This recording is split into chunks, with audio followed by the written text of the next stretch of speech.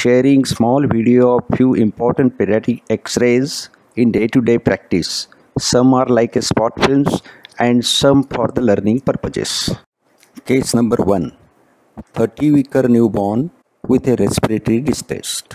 Obviously, it is a X-ray of hyaline membrane disease or respiratory distress syndrome or surfactant deficiency all are synonyms. What are the X-ray findings here? Ground glass appearance to the both lung fields, symmetrical reticulonodular opacities, air bronchograms, blurring of the cardiac and diaphragmatic margins.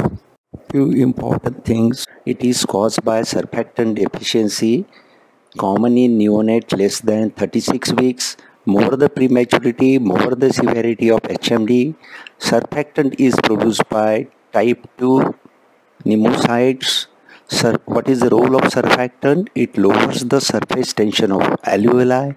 Deficiency of surfactant in alveoli, they lose their compliance, meaning that they remain collapsed and clinically RDS present immediately after the birth.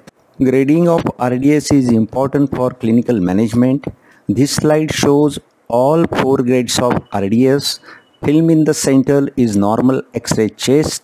Grade 1 subtle ground glass appearances, minimal reticulonodular shadows, no much hypoventilation, diaphragmatic and cardiac margins are well seen. Grade 2, significant ground glass appearance, but still the lungs are fairly ventilated. Air bronchograms seen in the region of the heart and not seen in the lateral aspect of the lung fields. Cardiac and diaphragmatic margin are obscured. Grade 3 findings are same as in grade 2 but air bronchogram also seen in the lateral part of the lungs. Cardiac and diaphragmatic margins are significantly obscure. Grade 4 almost opaque lungs fields with or without air bronchogram. Heart and diaphragmatic margins are not seen at all. Grade 1 and 2 RDS do not need any intubation, no need of ventilatory support, and more important, surfactant therapy is not required. They do well just with a oxygen support whereas in grade 3 and grade 4 HMD they need intubation they need ventilatory support and more important they need surfactant therapy which is a magic drug as I said, surfactant is a magic drug. This is the X-ray of the child showing grade 4 HMD. Surfactant was given through the endotracheal tube and have a look at the X-ray which was taken just after the 3 hours of surfactant therapy where both lungs are well expanded, diaphragmatic and cardiac margins are well seen, both lungs are fairly good ventilated. Here let us go through the causes of respiratory neonatal distress. Causes can be medical or causes can be surgical.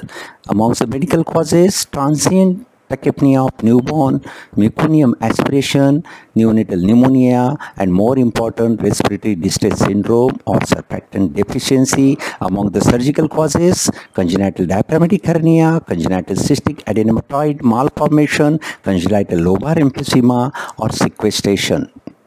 In case number 2, I will like to demonstrate variety of thymic appearances in pediatric X-ray chest. One should be familiar with the appearance of the thymus and before that let us see few thymic signs. Sail sign where you will see the lateral sharp border as the thymus is mediastinal organ and lower margin of the thymus is sharp giving the appearance of the sail or boat thymic wave sign. It can be seen on right as well as on the left. We all know thymus is located in the superior mediastinum anteriorly. It is very soft organ seen on the X-ray up to 3 years of age.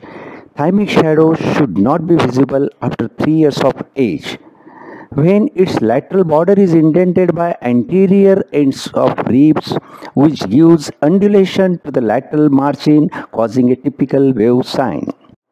When inferior border of the thymus interrupts with the cardiac out, giving a typical notch, we call it as a notch sign. Notch sign can be seen on the right or the left.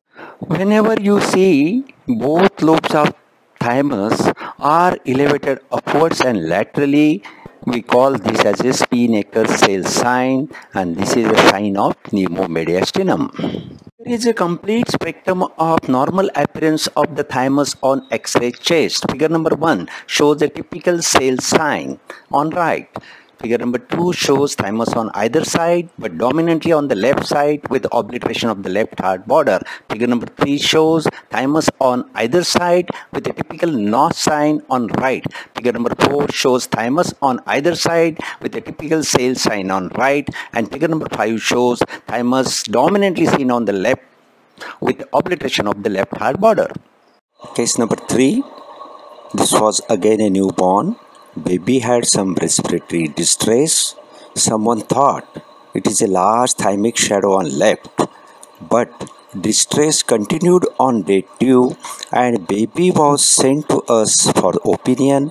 What we thought a large opacity on left displacing heart and trachea.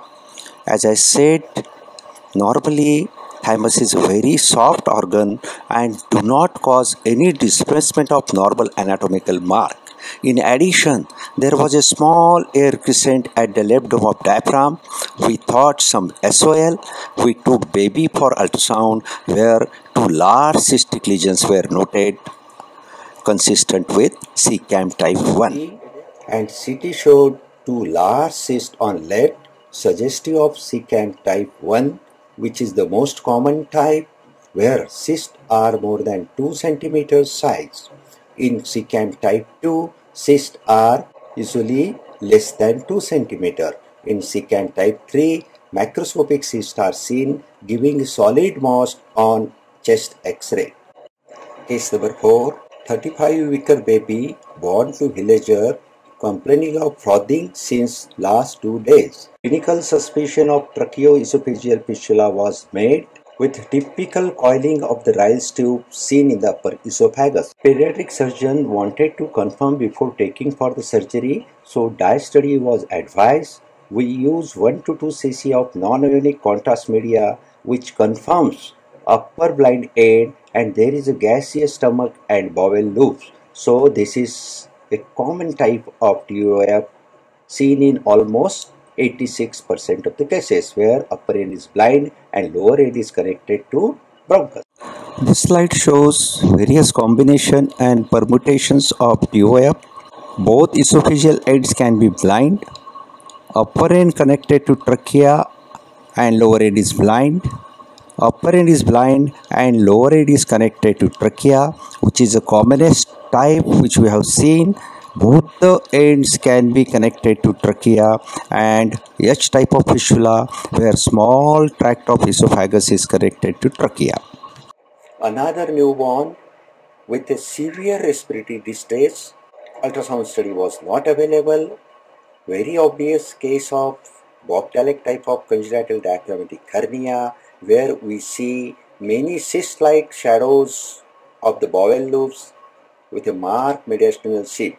Baby is very distinct because of ipsilateral and contralateral hypoplastic lung.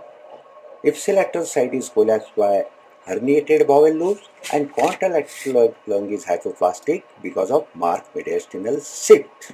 We all know we can antenatally diagnose Bochdalek type of hernia by identifying herniated stomach in the thorax with a marked mediastinal shift.